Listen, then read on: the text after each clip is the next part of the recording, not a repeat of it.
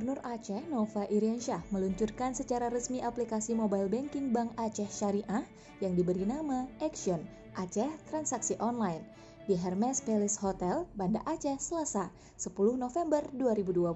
Dalam kesempatan tersebut, Gubernur Nova mengapresiasi terobosan yang dikeluarkan Bank Aceh Syariah guna memberikan pelayanan terbaik bagi nasabah.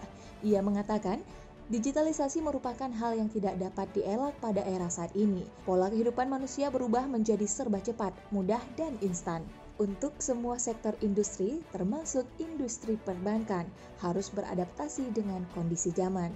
Terlebih di tengah situasi pandemik yang memaksa kita menjaga jarak interaksi fisik. Sejalan dengan itu, maka sangat relevan kita mulai masuk ke dalam dunia digital, kata Nova. Nova berharap melalui aplikasi tersebut, nasabah dapat memanfaatkan jasa perbankan dengan mudah tanpa dibatasi oleh waktu, jarak maupun tempat.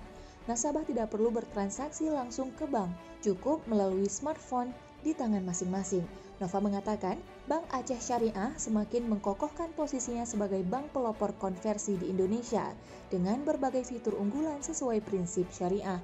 Ia berharap bank milik daerah itu terus tampil sebagai simbol bagi kemajuan sistem perbankan syariah di Indonesia. Sementara itu, Direktur Utama Bank Aceh Syariah, Haizir Sulaiman mengatakan, Bank Aceh Syariah terus melakukan berbagai pembenahan dalam memberi pelayanan bagi nasabah.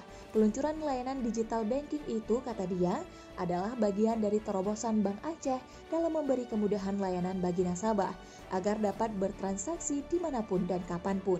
Haizir menyebutkan masyarakat sangat antusias. Sampai hari ini jumlah download aplikasi tersebut sudah mencapai 12.130 download. Jumlah transaksi harian paling tinggi juga telah mencapai 4 miliar lebih.